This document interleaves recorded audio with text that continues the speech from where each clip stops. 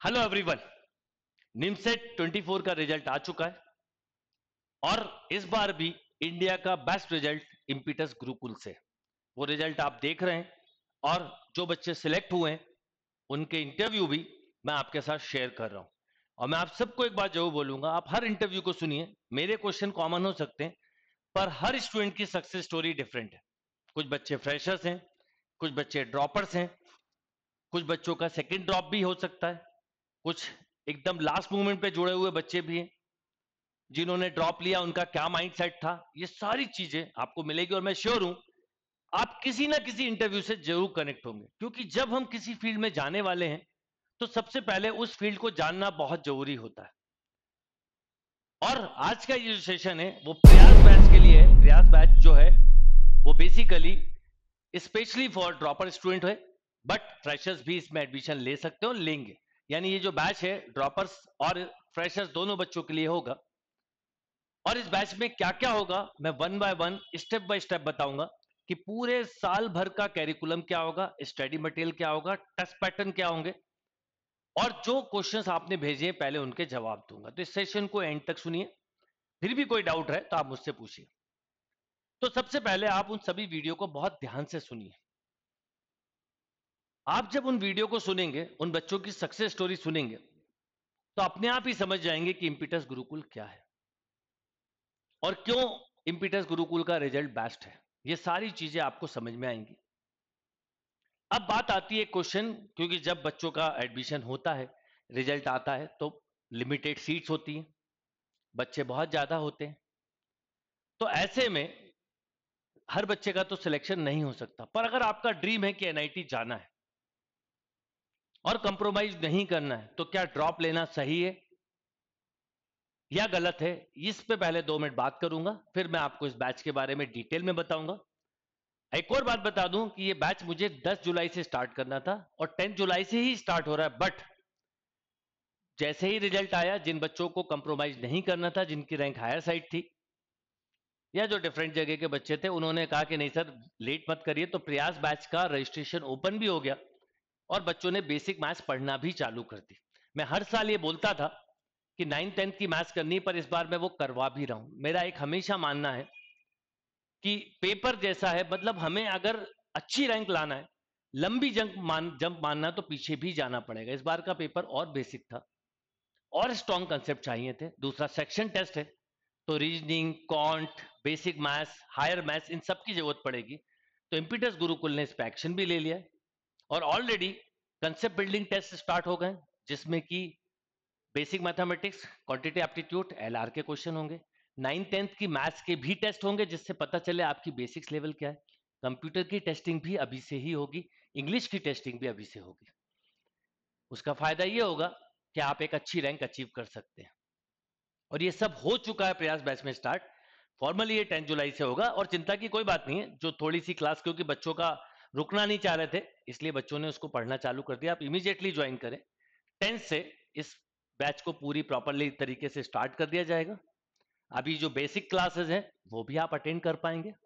तो इसमें कुछ भी मिसिंग नहीं होगा।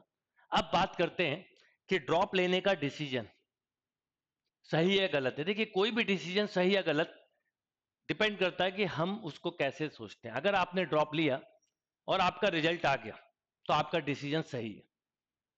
सब कहेंगे, देखो यार, बच्चे ने ड्रॉप लिया था या सेकंड ड्रॉप लिया था, पर रिज़ल्ट दिया। मैंने अभी कुछ बच्चों के जो इंटरव्यू लिए डाल, डालें, देखिएगा।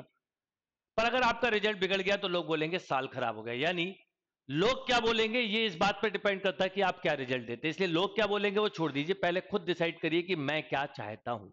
मैं हमेशा एक क्वेश्चन पूछता हूँ कि अगर हमें आईआईटी या एनआईटी जाना तो क्यों? बहुत सिंपल रीजन है, क्योंकि वहाँ बहुत थोड़े से लोग जाते हैं। वो थोड़े से लोग जो मेहनत करके जाते हैं। प्राइवेट कॉलेज में एडमिशन लिया जा सकता है, प्लेसमेंट भी हो सकता हो जाए, कम है पर हो सकता हो जाए, बट ये कंप्रोमाइज और कंप्रोमाइज कहीं ना कहीं आगे तक कंप्रोमाइज कराता, पहला कंप्रोमाइज कॉलेज फिर जॉब फिर सैलरी एंड सो ऑन चलता रहता है। पर अगर पहले कंप्रोमाइज को रोक दें तो आगे के कंप्रोमाइज खत्म हो जाते हैं। और मैं हमेशा बोलता हूँ, जीवन का वो साल कभी मत बचाइए, जिससे अगले पचास साल आपके हैप्पी होने वाले हैं, सुनहरे बनने वाले हैं। दूसरी बात, कहीं ना कहीं फ़र्क पड़ता है एनआईटी टैक का। आपके ड्रॉप का कोई फ़र्क नहीं पड़ेगा एनआईटी में। बट आपकी लाइफ में एनआईटी जाने से आपकी लाइफ में बहुत बड़ा फ़र्क पड़ेगा। एक कॉन्फिडेंस जनरेट होगा कि नहीं, मैं मेहनत करके आया हूँ और कुछ चंद लोगों में हूँ मैं। सोचिए ना, कितने लोग जाएँगे निमसेट के थ्रू एनआईटी में? केवल थाउजेंड्स लोग। लगभग, है ना? अब इतने सारे बच्चों में केवल इतने से बच्चे जाने वाले। तो ऑब्वियसली आप भीड़ से अलग हो जाते हैं। हाँ भीड़ का कारण नहीं। आप भीड़ का हिस्सा नहीं, भीड़ का कारण बनना चाहिए। यानी वो जो क्राउड है, उस क्राउड को, में तो कोई भी आ जाता, पर उस क्राउड के रीजन आप होना चाहिए। तो आपकी कोशिश होना चाहिए कि नहीं, मैं मेहनत करूँ और एक बार और कोशिश करूँ। तो ये प्रयास जो है, नाम भी इसलिए रखा है कि एक कोशिश करिए और ईमानदारी से करिए। पर मैं एक चीज़ बोल दूँ, अगर आपने मन बनाया ड्रॉप का तो ड्रॉप लीजिएगा जब जब आप 100 परसेंट खुद से कॉन्फिडेंस हो, अपने ऊपर भरोसा रखिए। मैं कह रहा हूँ, इसलिए मत लेना पेरेंट्स कह रहा है, इसलिए मत लेना खुद से, क्योंकि आपको अपनी मेहनत कई गुना करनी पड़ेगी। जब मैं अभी ड्रॉपर्स बच्चों का इंटरव्यू लेता हूँ तो वो मेरी ही बात कहते हैं कि, सर, आपने बोला था, ये साल इन्वेस्टमेंट हमने वैसे ही किया। आपने एक बात बोली कि ड्रॉपर बच्चों का एक्सपीरियंस कंपेयर टू फ्रेशर ज़्यादा होता है। ऑब्वियसली क्योंकि आप पेपर दिए हुए होते तो आपके सिलेक्शन के चांस ज़्यादा होते हैं, पर ओवर थिंकिंग से कई बार हम वो चांस कम कर लेते हैं। तो अगर आपके मन में डर है, मत लीजिएगा ड्रॉप फिर आप जो भी करना चाहें कर सकते हैं कंप्रोमाइज कर लीजिए, कोई ठीक ठाक प्राइवेट कॉलेज ले लीजिए, वहाँ जाके मेहनत करिए. बट यदि आप कंप्रोमाइज नहीं करना चाहते तो फिर कोई चिंता की बात नहीं है. अब रहा सवाल इम्पिटस के साथ. क्यों जुड़ना चाहिए? क्योंकि इम्पिटस के साथ इसलिए जुड़ना चाहिए कि जो चीज़ें आपको इम्पिटस में मिलेंगी, वो आपको कहीं और नहीं मिल सकती. सबसे पहले नॉलेज मैथ्स का बहुत ही टेक्निकल राइट सॉल्विंग अप्रोच जो आपको मुझे नहीं लगता मिलता है कहीं। बहुत ही बेसिक लेवल से एडवांस लेवल तक कैसे जाना है? यानी आप जेई मेन्स और एडवांस के क्वेश्चन भी क्विकली सॉल्व कर पाए, ये सब सीखेंगे।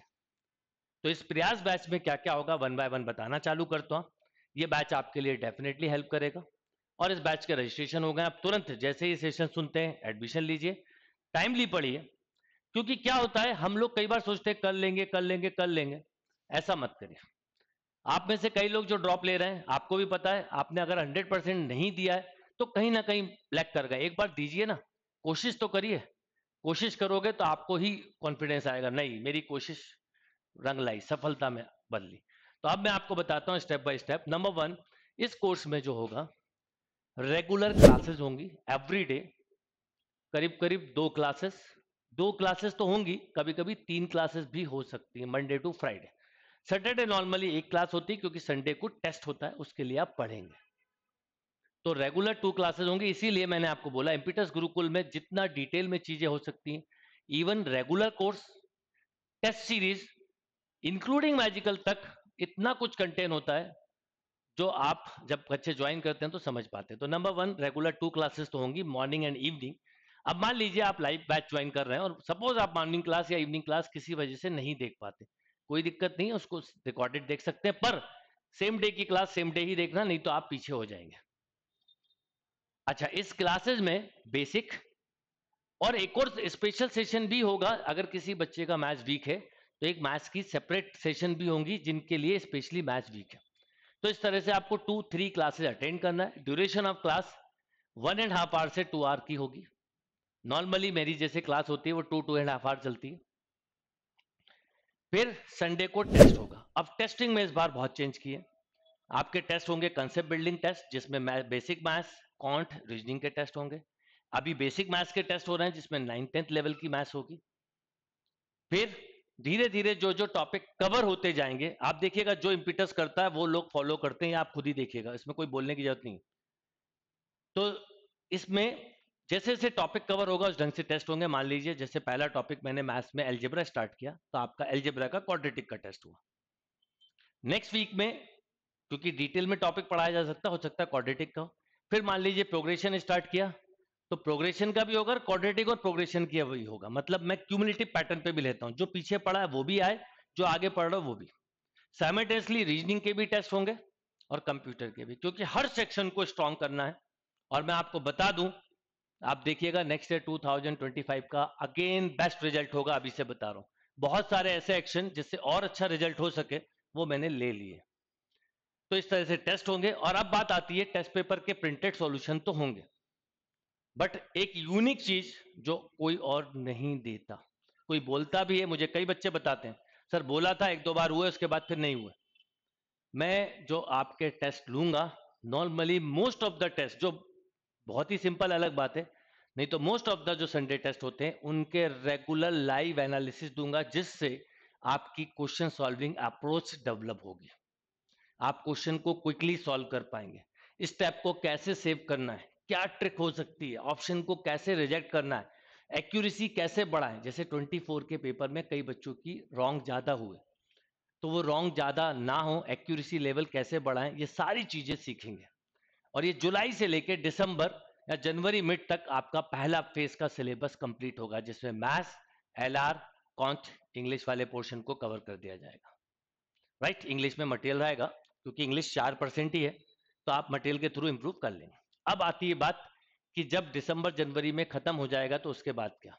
अच्छा इन रेगुलर सेशन के साथ साथ मैं आपको क्या क्या मिलेगा वो बता देता हूँ। स्टडी मटेरियल में मिलेगा डेली प्रैक्टिस टेस्ट डीपीटी जिसे बोलते हैं, जो आपको सॉल्व करनी अगेन, इसके भी प्रिंटेड सॉल्यूशन होते हैं, पर इसको भी मैं क्लास में डिस्कस करता हूँ। ये सबसे यूनिक चीज़ है, जिससे कि आपके डाउट ही नहीं आते। कई बच्चे बोलते हैं, सर, डाउट आएँगे तो क्या होगा? मैं बोलता हूँ, डाउट आएँगे नहीं, आप लिख लो, नहीं आएँगे और सच में नहीं आते। आप बिल्कुल चिंता मत करो, आप ऑनलाइन बच्चों के इंटरव्यू सुनो जो मैंने अभी लिए। वो कहते हैं, सर, कभी फीलिंग ही नहीं आया कि हम क्लासरूम में नहीं है। ऑनलाइन क्लास में भी ये फीलिंग आपको आ सकती इस लेवल की क्या होगी? तो आपको ये पेपर्स जो होते हैं नॉर्मली जो जितनी शीट्स होती हैं, जो सिंपल क्वेश्चन होते हैं, बहुत सिंपल अलग बात है अदरवाइज़ वो भी डिस्कस होती है। तो ये चलेगा, यानी आपको किसी तरह की कोई गाइड की ज़रूरत नहीं है, फिर भी एक आध गाइड आप रखना चाहें तो रख लें। कम से कम मैं आपको फोर टू फाइव गाइड के इक्वल मटेरियल दूँगा, और अगर आपने ये सॉल्व कर लिया तो कोई ज़रूरत नहीं है। फिर आती है बात जनवरी से फुल लेंथ टेस्ट सीरीज़ चालू हो जाएगी आपकी मॉक्स टेस्ट सीरीज़ चालू हो जाएगी। फाइनल काउंटडाउन होगा और सरप्राइज़ टेस्ट होंगे। और ये टेस्ट बढ़ते बढ़ते इतने हो जाएँगे कि पर डे आप एक टेस्ट देंगे इवन आखिरी आखिरी में तो एक दिन में दो दो टेस्ट देंगे। हर लेवल का टेस्ट देंगे, जैसे इस बार हुआ है 200-300 के आसपास टेस्ट होंगे। सिंपल टफ मीडियम लेवल हर तरह के जो पॉसिबल परमुटेशन हो सकते हैं, वो और उसमें आगे जाके टेस्ट में जो अच्छे टेस्ट हैं, उनके भी एनालिसिस होंगे। यानी ये इंटायर कोर्स करने के बाद आप केवल, और एक और बात बता दूँ कि आप इम्पिटस में मैथ्स एलआर कंप्यूटर नहीं सीखने वाले, ये तो सीखेंगे ही। मैथ्स तो आपको कोई भी अच्छी पढ़ा सकता, हो सकता है। पर जो इम्पिटस में सबसे यूनिक चीज़ सीखोगे, वो है लाइफ लाइफ चेंजिंग आपका सेशन होंगे, जो आपकी इंटायर लाइफ को बदल देंगे। आप ऐसी कई चीज़ें सीखोगे कि आपकी लाइफ के कोई भी प्रॉब्लम आ जाए, आप उसको फेस कर सकते हो। क्योंकि मेरा ये मानना है मैथ्स में ऐसी कोई प्रॉब्लम जिसका सॉल्यूशन ना हो, वो प्रॉब्लम ही गलत मानते हैं। इस सेम थिंग कि लाइफ में भी कोई प्रॉब्लम ऐसी नहीं हो सकती जिसका सॉल्यूशन ना हो। और सॉल्यूशन नहीं है तो प्रॉब्लम भी नहीं। तो आप कुछ इतना कुछ सीखेंगे जो आपकी इंटायर लाइफ काम आने वाला है। आज भी इम्पिटस गुरुकुल में 20 20 25 25 साल पुराने बच्चे जुड़े हुए कोई भी पुराना बच्चा ऐसा नहीं होता, मुझसे डिस्कनेक्ट होता, जुड़े होते हैं। और यही इम्पिटस गुरुकुल की सफलता है। आज इम्पिटस में बच्चे सबसे ज़्यादा सीनियर बच्चों के थ्रू जुड़ते हैं।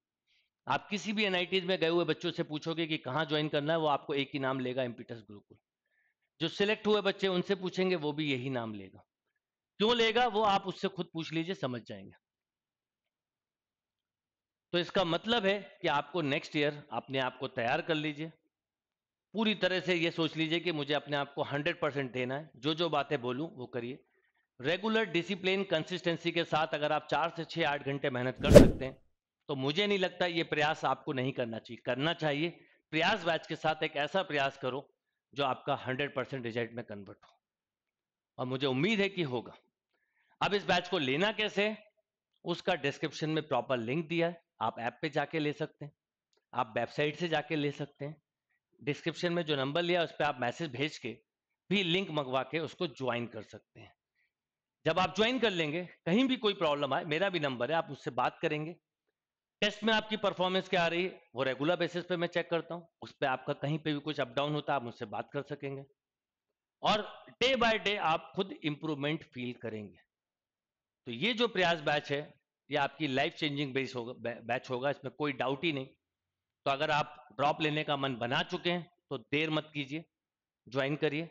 अगर आप फाइनल ईयर में हैं और आपने सोच लिया कि करना है, आप ज्वाइन करिए।